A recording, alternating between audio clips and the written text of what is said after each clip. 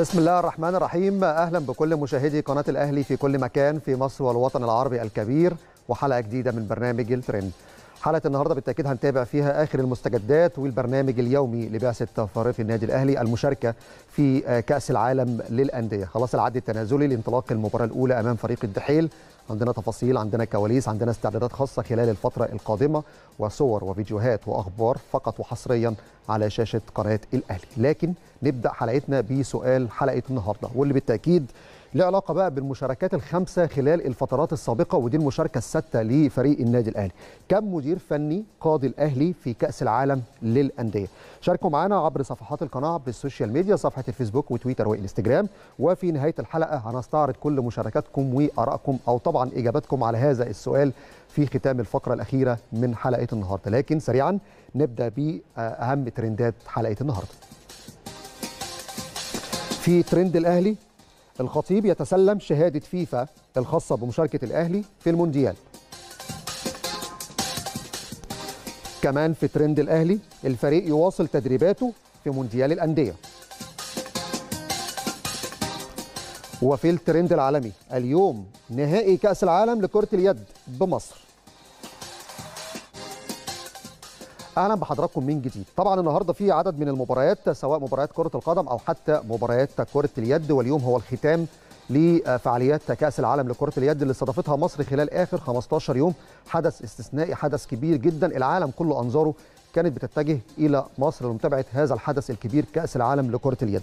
منذ لحظات انتهت مباراة تحديد المركز الثالث والرابع ما بين إسبانيا وفرنسا واللي انتهت بفوز إسبانيا 35 29 على المنتخب الفرنسي وبالتالي إسبانيا هي صاحبة المركز الثالث والميدالية البرونزية في كأس العالم لكرة اليد في مصر. بعد قليل حوالي بعد ساعة ونص مباراة نهائي كأس العالم الدنمارك والسويد المنتخبين اللي لعبوا مصر في مشوار البطولة هم اللي وصلوا للمباراة النهائية. طيب على مستوى مباريات كرة القدم مباريات اليوم في الدوري الإنجليزي منذ لحظات قليلة انتهت مباراة تشيلسي وبيرنلي.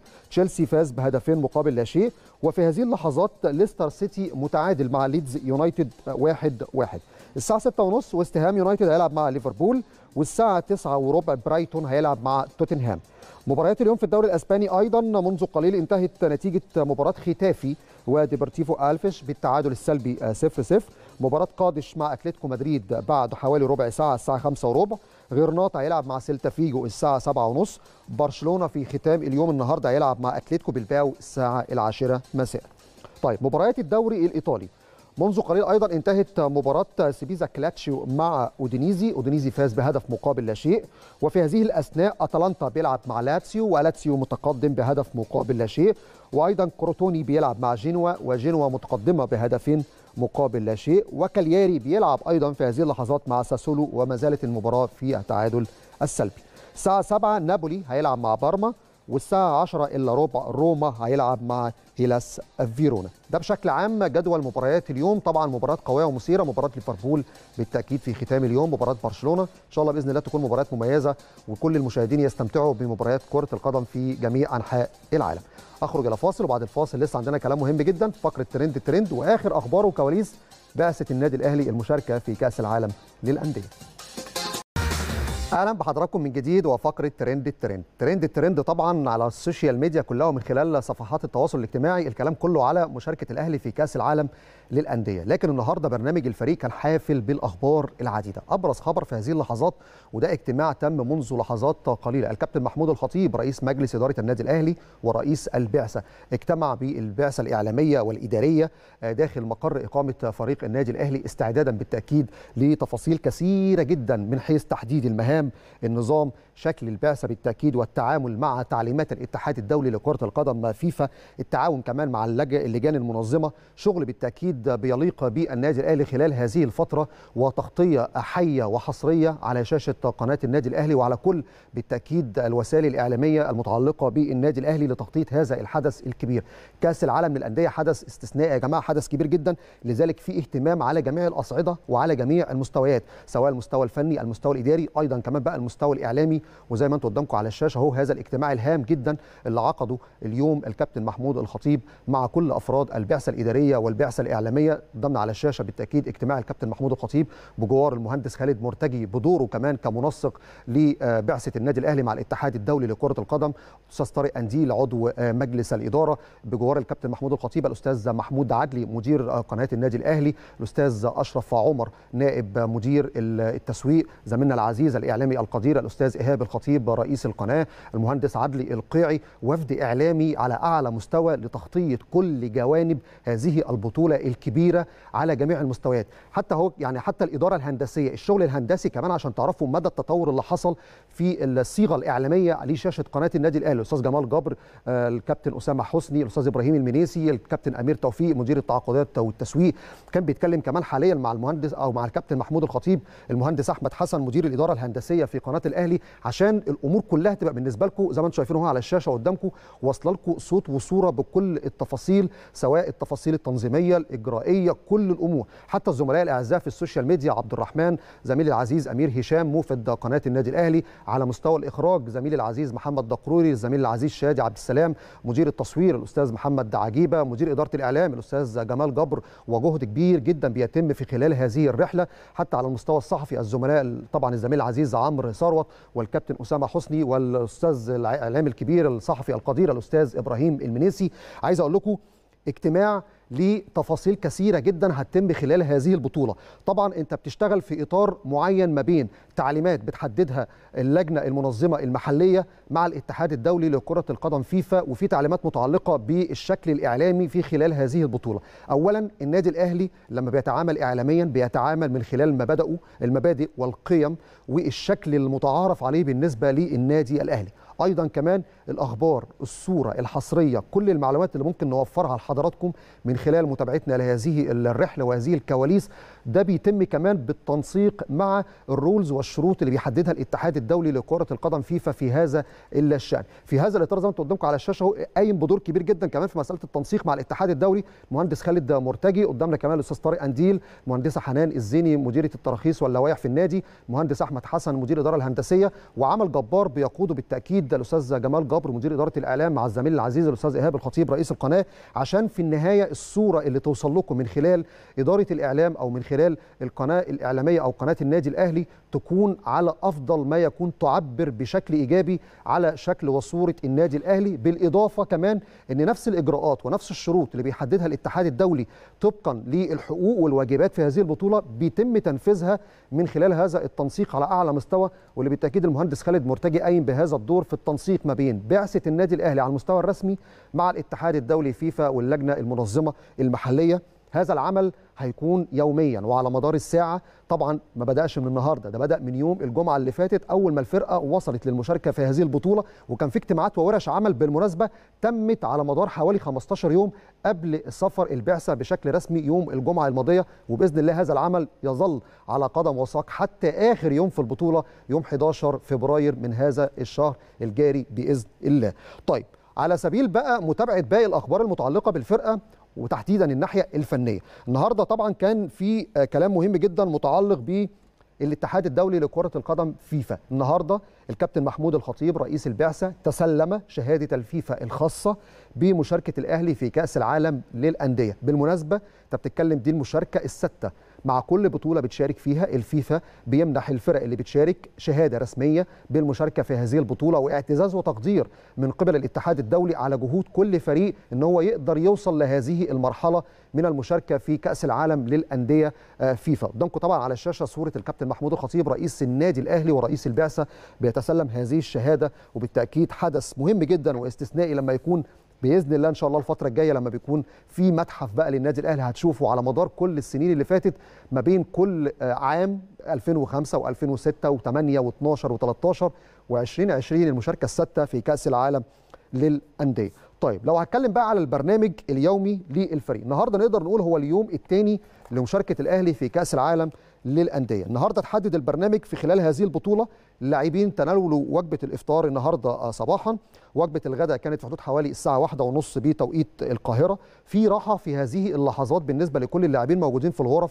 داخل الطابق الخامس في فندق الإقامة. عشان الساعة خمسة ونص بعد حوالي ربع ساعة من دلوقتي هيكون في تناول وجبة خفيفة قبل الاستعداد للدخول في صالة الألعاب الرياضية صالة الجيمانيزيوم عشان يكون في تدريبات تأهيلية في الجيم الساعة خمسة وربع. الساعة سبعة هتتحرك الحافلة من مقر الإقامة إلى ملعب التدريب عشان خوض المران الساعة سبعة ونص على ملعب جامعة قطر. بالتأكيد هذا التدريب هيكون التدريب الثاني قدامكم هذه اللقطات الحصرية للبعثة من داخل القاعة المخصصة للطعام وتناول الوجبات في فندق الإقامة. وبالمناسبة ده بيتم من خلال طبيب التغذية من خلال الأكل معمول كله بسعرات حرارية طبعا محددة. ده ليه علاقة طبعا بالتغذية للفريق الكورة. فريق الكورة التغذية بتاعته مختلفة تماما عن التغذية المتعلقة بالإنسان العادي أو الإنسان الطبيعي. وده ليه علاقة بقى بالسعرات الحرارية والتحضير للمباريات. وكل يوم ممكن وجبة بتختلف عن الوجبة الثانية لغاية لما توصل ل ميعاد المباراة قدامكم على الصورة أهو. دكتور عبد الرحمن سعيد طبعا دكتور التغذية وأخصائي التغذية لبعثة فريق النادي الأهلي وبالمناسبة موجود مع الفريق في كل المعسكرات وفي كل المباريات سواء محلية أو إفريقية أو حتى حدث دولي كبير زي كأس العالم للأندية. طيب الكوتش بيتسو بيتسو موسيماني المدير الفني الجنوب إفريقي للنادي الأهلي هيعقد النهارده محاضرة فنية بالفيديو للاعبين داخل فندق الإقامة قبل التحرك إلى ملعب التدريب استعدادا للمران الثاني. محاضرة الفريق النهارده هتكون الساعة سبعة وتلت. سبعة وتلت بتوقيت الدوحة لكن ستة وتلت بتوقيت القاهرة قبل المغادرة لمقر مقر المران إن شاء الله بإذن الله. ودي محاضرة بيتسو موسيماني بيتكلم على آخر الأمور الفنية اللي عايز يتكلم فيها واللي هيطبقها النهارده في المران قبل التحرك إلى التدريب استعدادا لمباراة الدحيل. المحاضرة بالمناسبة بتشهد عرض ملخصات متنوعة لمباريات الدحيل وشرح نقاط القوة والضعف الفريق المنافس وتحفيز اللاعبين خطة اللعب ومراجعة كافة الأمور الفنية المتعلقة بفريق الدحيل في افتتاح مشوار مباريات كأس العالم. عايز اكد على جزئية مهمة جدا. بلاش كلام على مباراة بايرن ميونخ. كل الناس وكل الجمهور المتابعين عبر ال social media إحنا عندنا مباراة هي الخطوة الأولى يوم الخميس القادم مباراة الدحيل. محدش بيفكر إنه يطلع الدور الثالث قبل ما بيعدي على الدور الثاني فبالتالي أنت مش هتروح لمباراة يوم 8 فبراير إلا لما تلعب مباراة يوم 4 فبراير وتكسبها. فبالتالي الكلام لازم نتكلم على مباراة الدحيل إنها مباراة صعبة جدا مباراة ما حدش يستهين بيها. فريق الدحيل فريق قوي بالمناسبة عنده عناصر قوية جدا. فبالتالي إن شاء الله بإذن الله يقدر فريق النادي الأهلي يعمل مباراة كبيرة ويتخطى هذه المواجهة. وإن شاء الله بإذن الله نقدر يعني أو التوفيق يكون حالفنا في هذه المباراة. الناس كلها بتشتغل وكل واحد بيحاول يقدم أفضل ما لديه لكن التوفيق يا رب بإذن الله يكون حليف فريق النادي الأهلي. الفريق هيتدرب النهارده على ملعب الجامعة.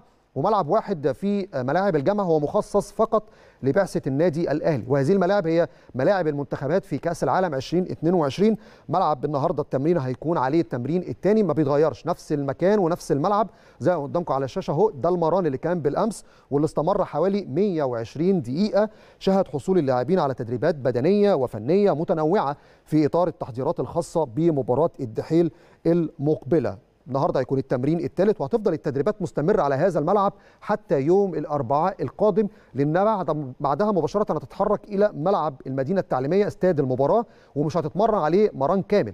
هتنزل وتزور الملعب وتتحرك وتمشي على أرضية الملعب بالأحذية لكن دون إجراء أي تدريبات طبقا لتعليمات اللجنة المنظمة المحلية مع الاتحاد الدولي فيفا. الجهاز الطبي النهارده بيؤكد تحسن حالة محمد هاني. ده خبر يعني الحمد لله يسعدنا قبل انطلاق المباراة بحوالي أربع أيام أو ثلاث أيام لأن طبعا إصابة محمد هاني من فترة مع شعور حسين الشحات بإجهاد شوية في العضلة الخلفية يعني أربك الحسابات شوية بالنسبة للجهاز الفني لكن إن شاء الله من النهارده من الحد لغاية يوم الاربعاء يقدر الجهاز الطبي مع الجهاز الفني يتوصلوا إلى التشكيلة الأساسية وأفضل اللاعبين من الناحية الفنية والبدنية في الاستعداد لهذه المباراة. كابتن سيد عبد الحفيظ مدير الكره أكد إن محمد هاني سيكون متواجدا متواجدا في التدريبات الجماعية بعد غد الثلاثاء وقال إن شاء الله هيكون موجود في تدريب الثلاث وحسين الشحات النهارده هنحاول نطمن في المران على حالته ومدى جاهزيته للفترة اللي جاية. والكابتن سيد قال إن هو بيثق تمام الثقة في قدرات لاعبي الأهلي على تحقيق نتيجة إيجابية في مباراة الدحيل دي كانت مجموعة من الأخبار والتفاصيل من معسكر فريق النادي الأهلي وآخر الأجواء بالنسبة للفريق منذ الصباح وحتى هذه اللحظات. لكن في هذه الأثناء أخرج إلى فاصل وبعد الفاصل لسه عندنا تفاصيل أكتر وأخبار حصرية من مقر إقامة بعثه فريق النادي الأهلي ولكن بعد الفاصل. أهلا بحضراتكم من جديد. طبعا أجواء بطولة كأس العالم للأندية فرض نفسها على كل المشاهدين والمتابعين لدرجة بالأمس الكل كان بيتابع نهائي كوبا ليبرتادوريس ما بين بالميراس وسانتوس. طبعا مباراة حظت باهتمام ومتابعة كبيرة جدا من الجماهير المصرية رغم إنه بالمناسبة يعني ما حدش هيقابل هذا الفريق المتأهل إلا إن شاء الله بإذن الله لما نتأهل إلى المباراة النهائية. لكن في النهاية بالميراس بالقضية أيضا فاز على سانتوس في اللحظات الأخيرة وفي الدقيقة 98 في الوقت القاتل. هدف من ضربة رأس مميزة جدا قدر فيها بالميراس يكسب بطولة كوبا ليبرتادوريس ويتأهل للمرة الثانية لكأس العالم للأندية. بالميراس سبق ليه فاز بكوبا ليبرتادوريس مرة قبل كده وده بالتأكيد انتصار وفوز بالبطولة للمرة الثانية. على حساب اسم كبير سانتوس البرازيلي اسم كبير جدا في الكرة البرازيلية وتحديدا في أمريكا الجنوبية. خلاص بالميراس دلوقتي حاليا خلاص هيتأهل لكأس العالم للأندية وهيكون موجود في طبعا الدوحة للمشاركة في هذه البطولة يوم 3 فبراير. بايرن ميونخ وصل تصدره للدوري الألماني فاز آخر مباراة على هوفنهايم 4-1 وهيلاعب بهرتا برلين إن شاء الله قبل ما يسافر لمونديال الأندية وهيسافر إن شاء الله يوم 6 فبراير. طيب عايزين نطمن على أخبار البعثة والجديد في هذه اللحظات وآخر الترتيبات قبل التحرك إلى طبعا ملعب التدريب والأجواء بعد ظهر اليوم. لذلك أذهب في هذه اللحظات إلى الزميل العزيز أمير هشام موفد قناة النادي الأهلي من مقر إقامة بعثة فريق النادي الأهلي. مساء الخير يا أمير. مساء الخير عليك يا محمد. تحياتي ليك وتحياتي لكل مشاهدي ومتابعي قناة النادي الأهلي في كل مكان. مفتقد جدا البرنامج في الحقيقة لكن في كل الأحوال مبسوط جدا بتواجدي مع الفريق كموفد لبعثة قناة النادي الأهلي. كواليس كتير جدا هنا مهمة وأخبار هامة جدا جدا بتتعلق بفريق النادي الأهلي. أنا معاك يا محمد في كل الاستفسارات طيب. اللي أنت حابب تسالها اتفضل. نبدأ مع بعض وبالتأكيد بقى فرصة وأنت معانا على الهواء مباشرة من خلال الترند. الهوا معاك. الجديد بالنسبة لك شايف إزاي الصورة داخل المعسكر؟ الحالة المعنوية والحالة النفسية عايزين نتكلم عليها كمان يا أمير. والإجراءات الاحترازية أنا عارف بتطبق بشكل صارم جدا لكن في نفس الوقت أنا شفت النهارده بعض الصور للألعاب الترفيهية للبعثة وللاعبين عشان تخرج من الأجواء شوية بسبب الإجراءات الاحترازية الصعبة جدا في وجودكم داخل فندق الإقامة. كل هذه التفاصيل بقى والمعلومات والإضافات اللي عندك قبل التحرك إلى ملعب التدريب. كويس. الإجراءات الاحترازيه في الحقيقة غاية في القوة ومشددة جدا جدا يا محمد وأنا حابب أبتدي بالجزئية دي تحديدا عشان أأكد على كل جماهير النادي الأهلي وعلى كل متابعي برنامج الترند إن مفيش أي تهاون في تطبيق هذه الإجراءات الاحترازية. ما ينفعش خالص خالص اللي جوه الفندق يخرج بره مستحيل. واللي بره يدخل جوه الفندق ده أيضا أمر مستحيل. بالمناسبة مفيش أي نزلاء اطلاقا اطلاقا موجودين في مقر إقامة النادي الأهلي. إلا بس فريق النادي الأهلي وفريق أولسن هونداي الكوري الجنوبي هم دول فقط البعثتين دول فقط اللي متواجدين في مقر الإقامة هنا. فيما عدا ذلك مفيش أي فرد تماما تماما بيقترب من بعثة النادي الأهلي وده طبقا للإجراءات الاحترازية المشددة وكمان طبقا لتعليمات الفيفا المشددة جدا جدا بخصوص كيفية تطبيق هذه الإجراءات. ده أمر من ضمن الأمور الهامه جدا تتعلق بفريق النادي الأهلي. لكن فيما يتعلق بالكواليس يا محمد بشكل عام فالفريق النهارده برنامجه بالشكل الطبيعي جدا. فطار الصبح غدا كان في تمام الساعة الثالثة عصرا بتوقيت الدوحه هنا. وكمان كان في برضو اجتماع كده من قبل الكابتن محمود الخطيب مع البعثة الإعلامية للنادي الأهلي ومع إداري النادي الاهلي للحديث عن بعض النقاط الهامة اللي تتعلق بكيفية التعامل خلال التواجد هنا في مقر الإقامة. مع التشديد على ضرورة الالتزام لكل أفراد البعثة وفي الحقيقة ما حدش مقصر بشكل كبير جدا لكن هو اهتمام طبعا ضروري جدا جدا من رئيس البعثة الكابتن محمود الخطيب رئيس النادي الأهلي. بالمناسبة كمان النهارده الكابتن محمود الخطيب استلم الشهادة أو شهادة الفيفا للنادي الأهلي بخصوص مشاركته رقم ستة في تاريخ بطولة كأس العالم للأندية. وده أيضا كان أمر مهم جدا. خليني كمان أقول نقطة من الكواليس غاية في الأهمية. محمد إن الفيفا طلب طلب تيشرت النادي الأهلي بتوقيع الكابتن محمود الخطيب. علشان يحطه بالظبط عشان يحطوا في المتحف الخاص بالاتحاد الدولي لكرة القدم. لفتة مهمة جدا وكان حريص طبعا الكابتن محمود الخطيب إن هو يلبي هذا الطلب. وده إن ده يدل على عراقة النادي الأهلي وأيضا يدل على الاسم الكبير للكابتن محمود الخطيب في الكرة بشكل عام تحديد الكرة الأفريقية كأحد أبرز أساطير الكرة الأفريقية. يعني دي برضو كانت نقطة غاية في الأهمية. لكن خليني أقول لك برضو إيه اللي بيحصل خلال هذه اللحظات. الفريق اتغدى طلع كل لاعب على غرفته.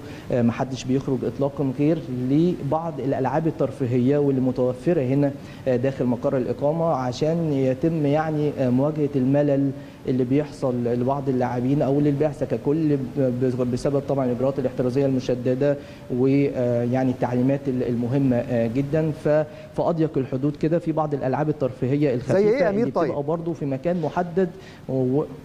يعني مثلا زي بلاي ستيشن 5 ده أبرز الأمور يعني أو أبرز الألعاب الترفيهية اللي موجودة هنا. اللاعبين يعني بيتناوبوا على المباريات على بلاي ستيشن 5 خليني أقول لك بالتحديد أكتر واحد بيتألق في اللعبة دي هو طاهر محمد طاهر. حريف جدا جدا. مكسر الدنيا. يعني فرق score 4 و5 في الحقيقة مكسر الدنيا. فزي ما هو لعيب في الملعب هو كمان في البلاي ستيشن بيلعب بشكل ممتاز جدا. في كمان اللعبة اللي هي بالكورة دي اللاعبين بيلعبوها كده بإيديهم زي كمان في السهم. يعني بعض الألعاب الترفيهية البسيطة اللي بيلعبها لاعبي النادي الأهلي. ده بالمناسبة بالمناسبة ما بيشتتش اطلاقا لاعبي النادي الأهلي لكن هو بس بيخرجهم من يعني الأجواء اللي إحنا متواجدين فيها. الأجواء اللي تتعلق بالإجراءات آه إجراءات الاحترازية وحالة الملل اللي ممكن يمر بها أي حد بأمر طبيعي في الحقيقة بسبب هذه التجديدات طيب. النهارده النهارده هيكون في مران للنادي الأهلي في تمام الساعة الثامنة مساء بتوقيت الدوحه هنا.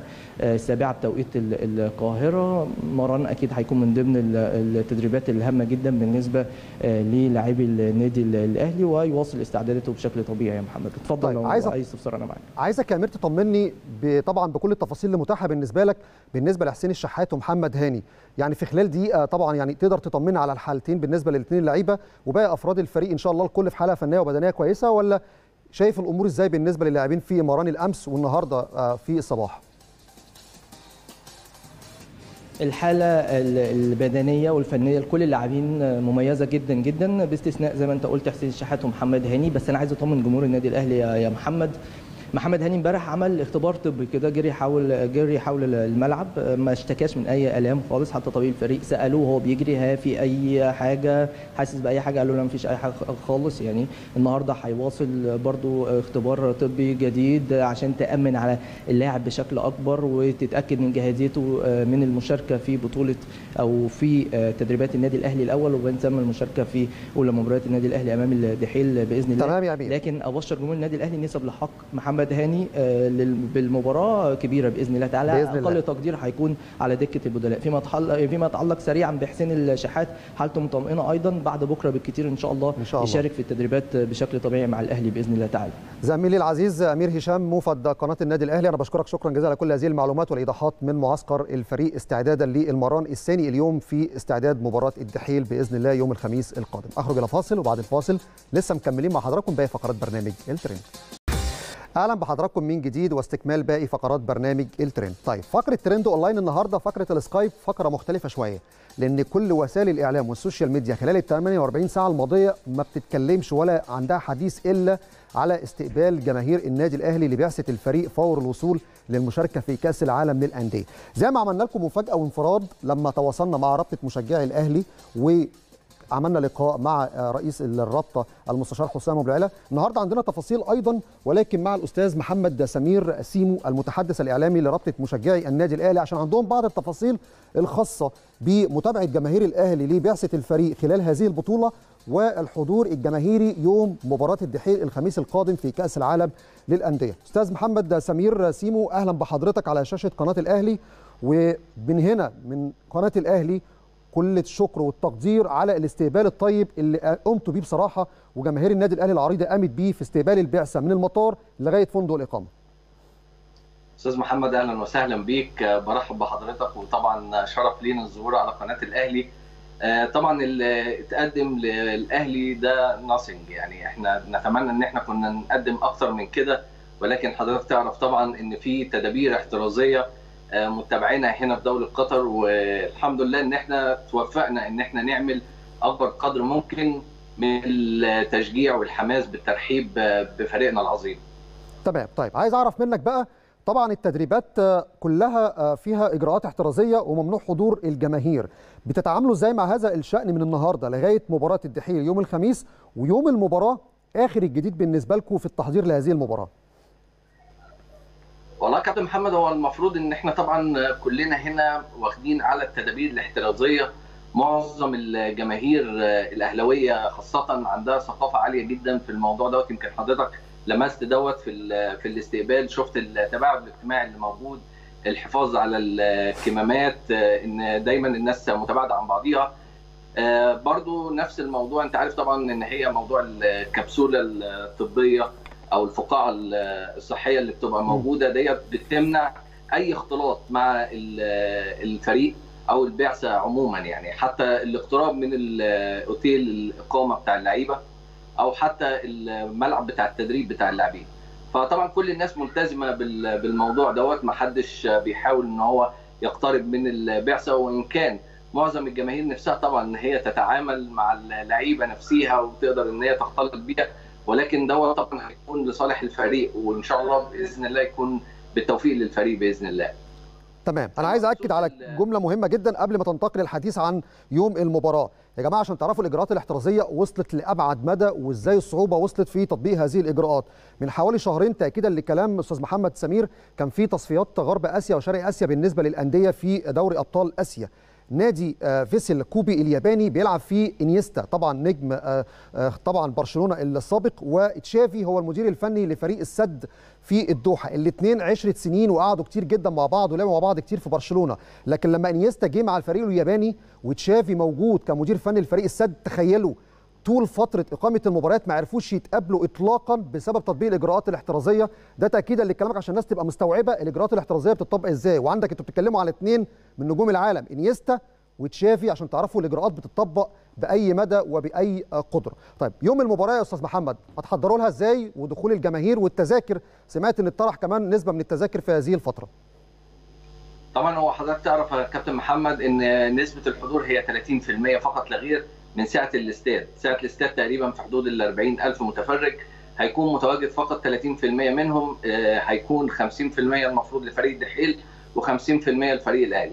ولكن بما إن التذاكر بتطرح على الموقع الرسمي للفيفا كان في هجوم غير طبيعي من جماهير النادي الأهلي على الموقع لحجز أكبر قدر ممكن من التذاكر. وببشر كل جماهير الأهلي إن إن شاء الله الثالثه شمال هتكون حاضرة وهتكون متواجدة في الملعب بإذن الله. ومش ثالثة شمال بس معظم جنبات الملعب إن شاء الله هتكون ممتلئة عن آخرها لجماهير الأهلي بس بالنسبة المحدودة اللي هي 30% طبعا إحنا كنا بنحضر لدخلة وكنا بنحضر لفعاليات كبيرة جدا ولكن طبعا الظروف اللي إحنا متواجدين فيها كل حاجة بنمشي فيها بيكون عن طريق اللجنة المنظمة والجهات المعنية هنا في الدوحة اللي بنشكرهم بصراحة من خلال قناة الأهلي وإن هم بصراحة ظللوا عقبات كتير بالنسبة لنا.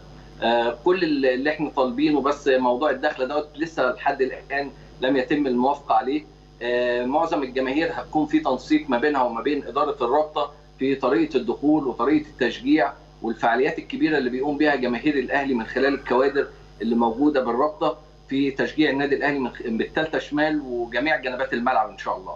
أستاذ محمد سمير سيمو المتحدث الإعلامي لرابطة مشجعي الأهلي في مونديال الأندية أنا بشكرك شكرا جزيلا على كل هذه المعلومات والإيضاحات وجهد كبير جدا وده طبيعي طبعا من جماهير النادي الأهلي في كل مكان لأن أنتوا كان عندكم تحدي كبير قدام العالم كله. شعبية الأهلي لا تضاهى في أي مكان في مصر وفي الوطن العربي وفي الخليج العربي وفي كل أنحاء العالم.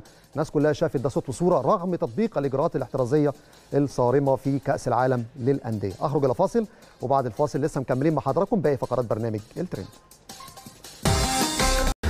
أهلا بحضراتكم من جديد. زي ما أنتم شايفين طبعا بنحاول نستعرض أكبر قدر من تفاصيل حلقة النهارده لكن رحنا اتكلمنا عن الجمهور واتكلمنا عن البعثة. نروح دلوقتي لترند الأهلي والمحتوى اللي موجود عبر ال social media. صفحة النادي الأهلي الرسمية طبعا اتكلمت على الحساب الرسمي للنادي الأهلي.